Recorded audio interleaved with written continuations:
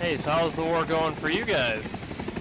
I can't wait to go back home and see my mom.